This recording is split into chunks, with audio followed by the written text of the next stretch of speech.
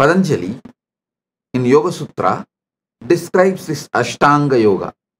Yama, Niyama, Asana, Pranayama, Pratyahara, Dharana, Dhyana, Samadhi. Normally, if you read from translation, English translation, how usually all the yoga teachers who don't know Sanskrit and who are very proud about not knowing Sanskrit. If they don't know Sanskrit, naturally they are going to read the English version of the Yoga Sutras, they are going to read the translation. People who read the translation of the Yoga Sutras always come to conclusion one next to the other, one next to the other, one next to the other. Yama, then Niyama, then Asana, then Pranayama, then Pratyahara. No.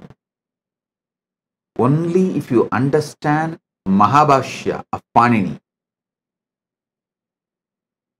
written by Patanjali, Panini's Mahabhashya,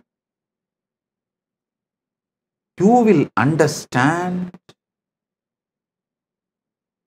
the way Patanjali is using these words describing yama, niyama, asana, pranayama, pratyahara, dharana, dhyana, samadhi is very clearly showing all eight should be spontaneously, simultaneously practiced and spontaneously, simultaneously manifested.